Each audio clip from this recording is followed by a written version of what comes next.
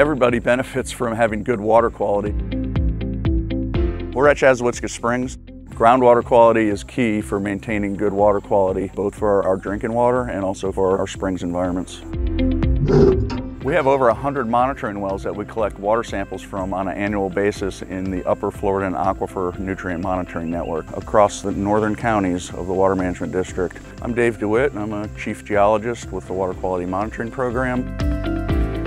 We use the data collected from these wells to screen and track water quality in the aquifer with an emphasis on identifying sources of nutrients. So we can identify areas in the aquifer where we see nutrient enrichment from the monitoring well data that we're collecting. And that is tied directly to the springs. So if we can find sources and make improvements and reductions in that loading of nutrients into our aquifer, that will improve the water quality at the springs.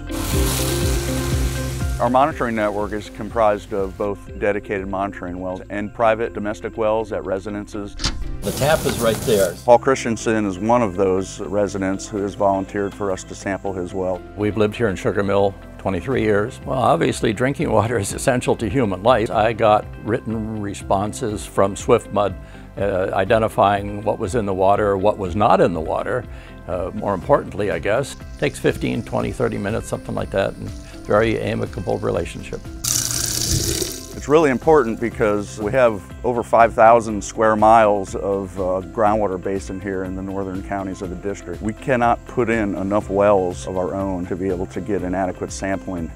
So the data we're collecting from these monitoring wells is also used by the Department of Environmental Protection for their ongoing basin management action plans.